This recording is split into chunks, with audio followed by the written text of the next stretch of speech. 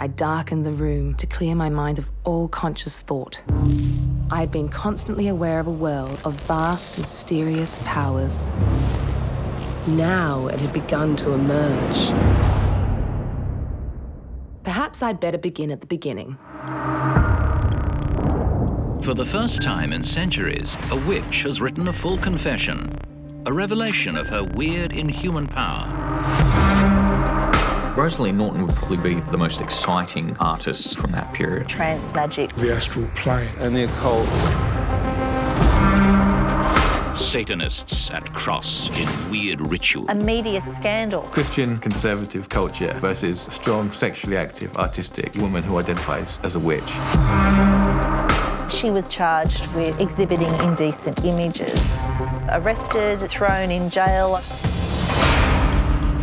Her exhibitions were shut down, her artwork destroyed by the government. In the olden days, they used to burn witches. Her art was a journey, it was a religion.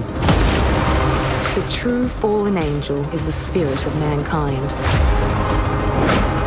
An artist, a radical, an outsider. This is not an artistic movement, this is a revolution. Night, freakish night, sets me free.